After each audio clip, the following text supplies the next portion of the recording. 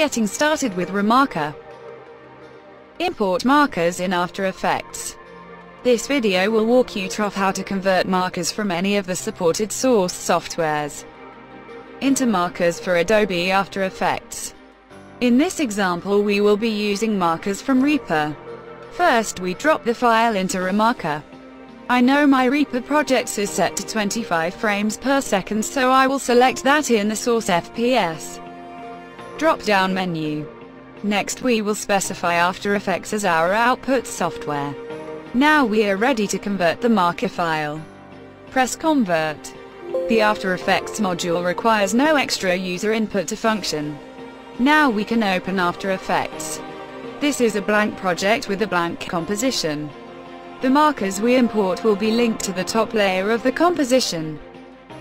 We recommend that you import the audio track that was used to create the markers to begin with. Make sure the track is placed all the way at the beginning of the composition. In this example we will use a null layer to demonstrate that any layer will work. Now go into File, Script, Run Script File. ReaMarker will automatically generate a import script in the specified folder every time you run there conversion but the script will be the same every time. Select the script and open it.